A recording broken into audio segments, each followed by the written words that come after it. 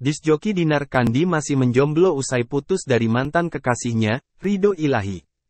Meski belum mengumumkan punya pacar baru. Namun Dinar Kandi mengungkap ada seorang lelaki yang tengah dekat dengannya. Ogah membuka identitas sang lelaki, Dinar hanya menyebut bahwa pria itu adalah seorang pengusaha. Sosok itu kata Dinar bukan berasal dari latar belakang dunia hiburan.